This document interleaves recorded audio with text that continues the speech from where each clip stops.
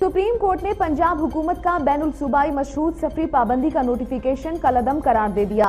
Justice Gulzar Ahmad ने remarks देते हुए कहा, पंजाब या कोई दूसरा सूबा आईनी तौर पर शहरियों पर ऐसी कोई पाबंदियाँ आयद नहीं कर सकता।